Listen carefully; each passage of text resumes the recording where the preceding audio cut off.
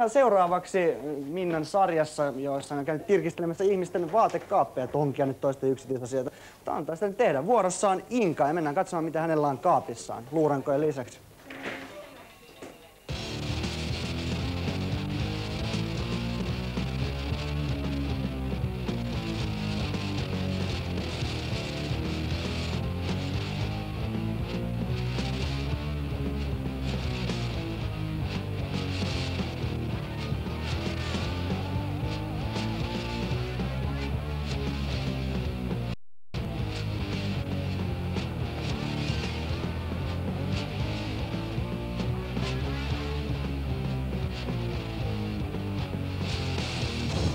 Tässä on lentolippu.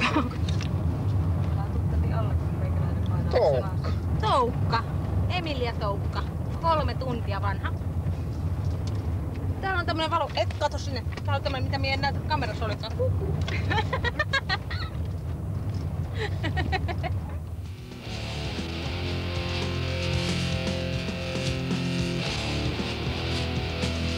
Mun näköisiä vaatteita. Vaikea, vaikea sanoa. Mä tykkään pitää mustia housuja. Hameessa mua ei oikeastaan näe muuta kuin harvoin landella. Ja tota, sit mielellään semmoista tosi mukavaa vaatetta venyvää, ei saa kiristää mistään. Tää pystyy liikkua. Ja sit lainatakseni AV1, joka sanoi tosi hyvin tämän pointin, että on hyvä, kun on semmoiset vaatteet päällä, että voi mennä häihin hautajaisiin tai korjaa auton taka-akselia. Se on ihan, mä yhdyn tohon varsinkin keikalla. Ja sit mielellään sellaista, mitä ei silittää, koska minähän asun matkalaukussa tällä hetkellä.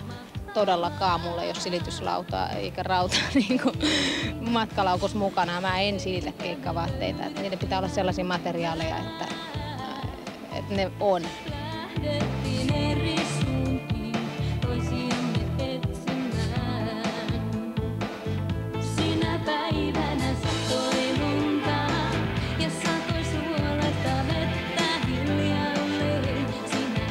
Onko sulla erikseen sitten jotain keikkavaatteita vai onko se sellaisia vaatteita, että sä voit, voit pitää niitä sitten koko ajan päällä? Ei mulla oikeastaan keikkavaatteita. Mulla on aina sellaisia vaatteita, mistä mä tykkään. En, koska en, en mä niinku koe sitä esitys, esiintymistä ja en mä yhtään eri tyyppi lavalla kuin mä muutenkaan. Mä oon minä.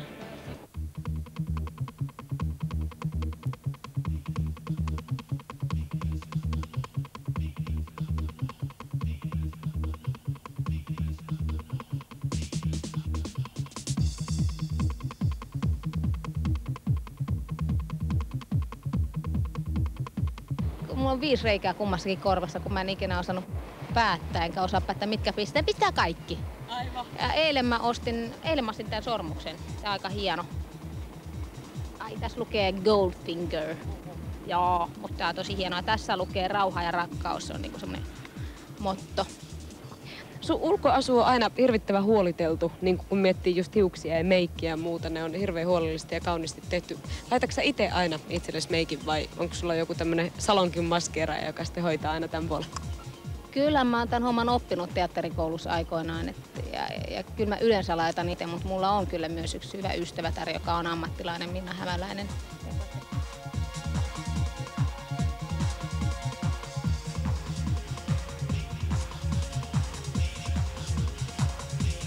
Mun mielestä joko laitetaan kunnolla tai sit ei niinku ollenkaan. Musta on ruokottoman näköistä, jos ihmiset ei niinku osaa meikata tai on niin pahan näköisesti maalattu, niin se, se ei näytä kivalta.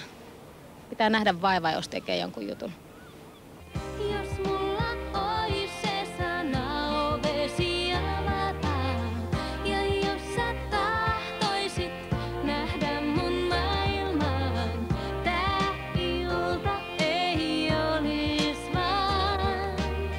No miltäs Pekka kuulosti meidän jutustelu?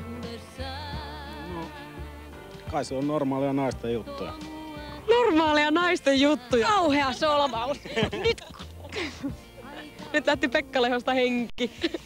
No, kaunis tapa kuolla.